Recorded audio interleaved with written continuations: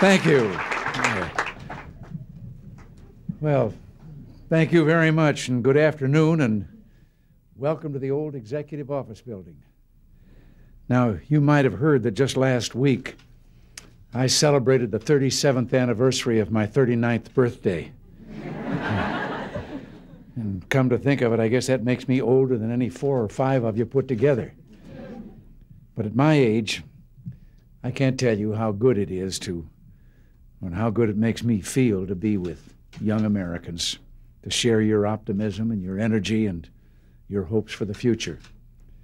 So you see, you've given me a gift today, and I want to begin by simply saying thank you.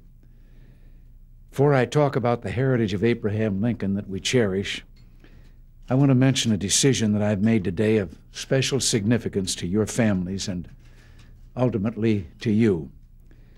I will be sending to Congress a plan for providing, through Medicare, protection against the tremendous costs of catastrophic illness.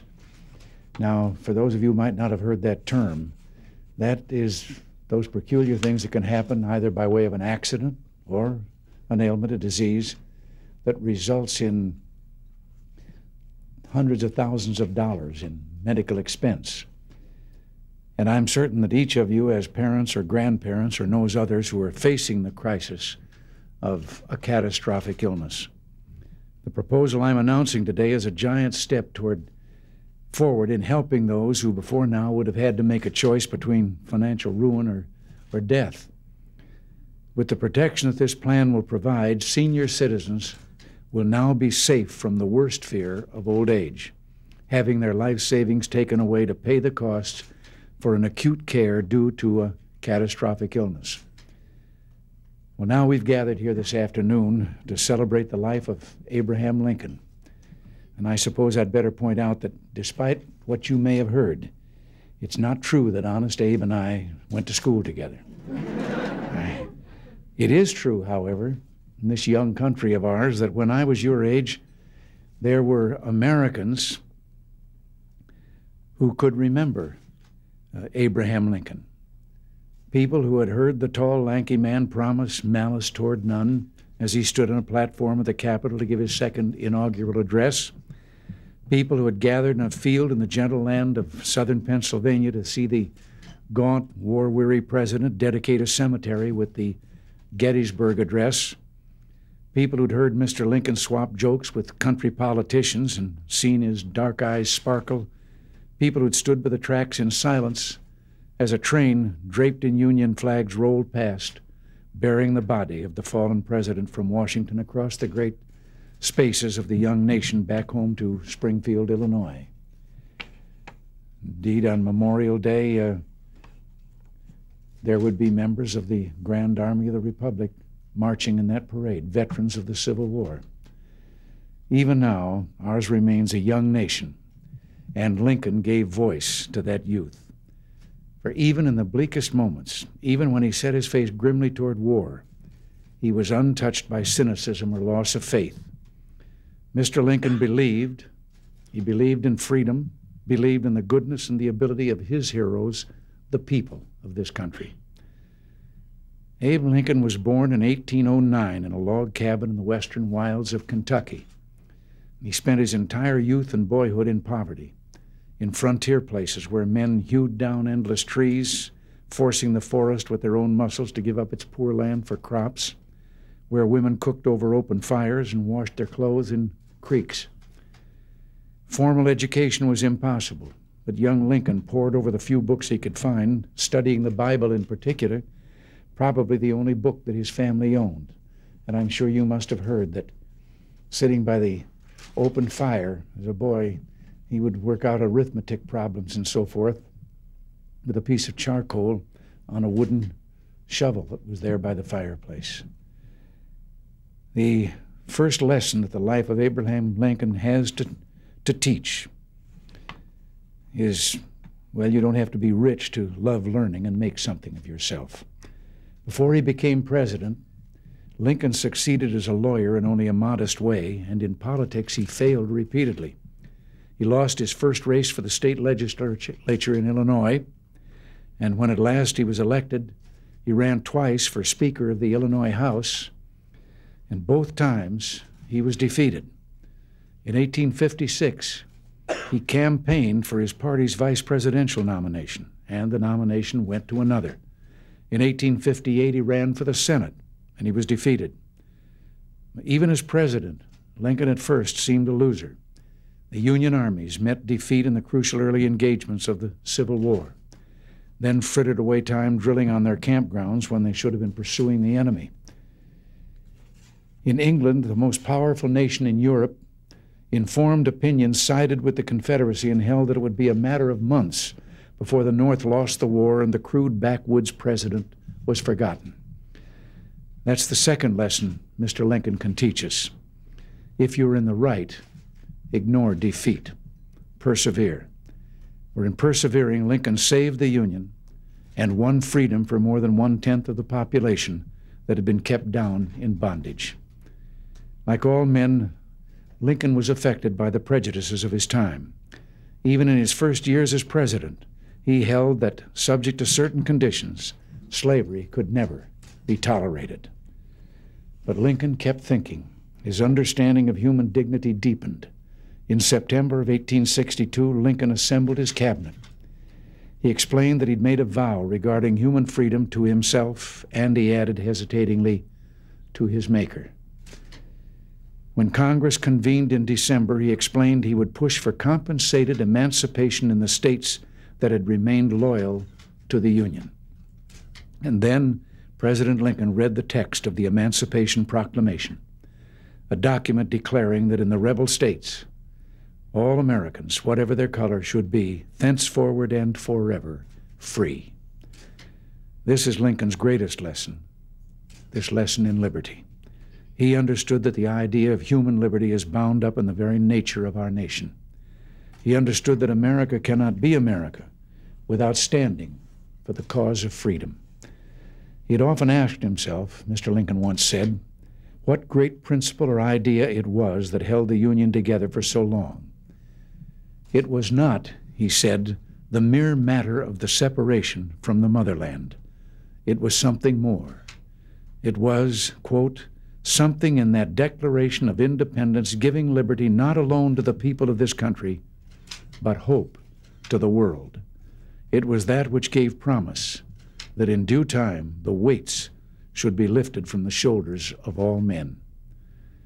In other countries, young men and women your age look back on the histories of their nations to emperors and kings, glorious figures raised in palaces attended upon by servants, given every refinement of education by the most eminent scholars of the day. You, as Americans, look back on a different kind of figure. A poor man, a humble man of the frontier and prairie, whose parents could neither read nor write. A man polite society looked down on because he told too many jokes. Yet for all land, a man who shook the world by consecrating himself and his nation to liberty.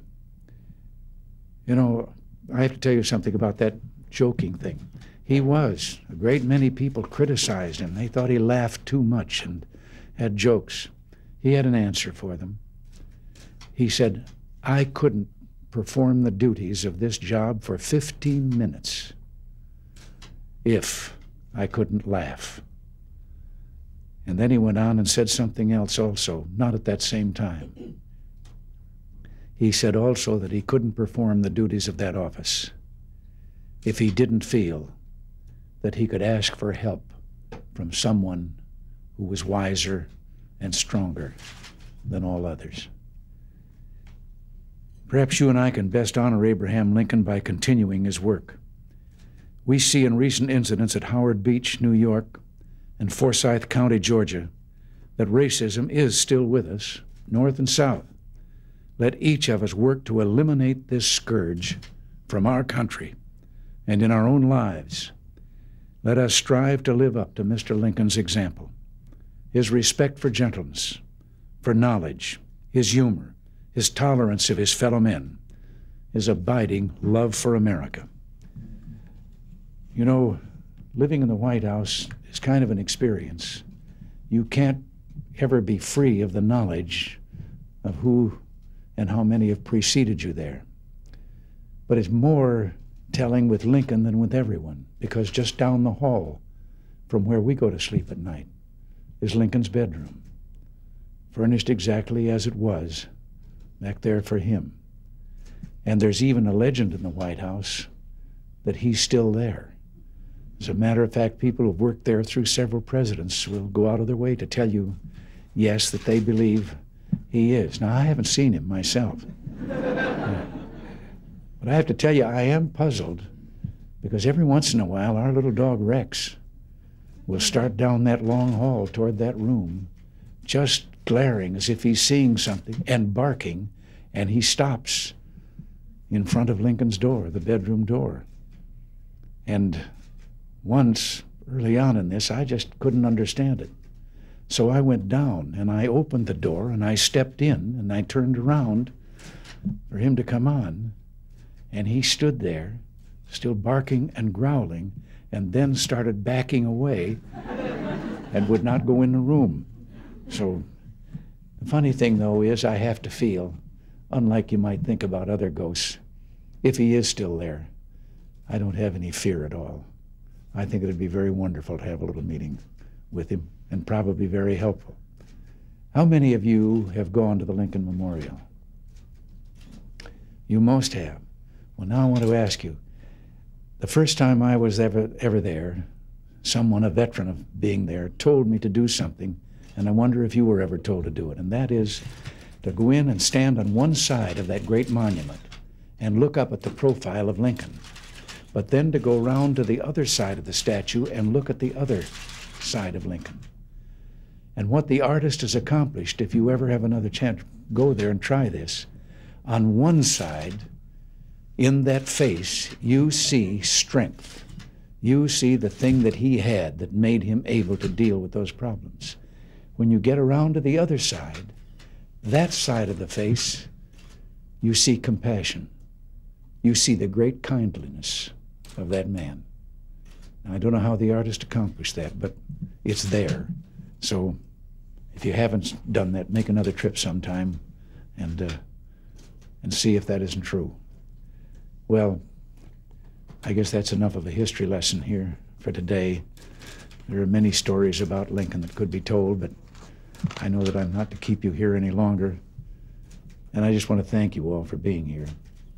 And that thing that I said about loving our fellow man and tolerance and so forth, I was blessed.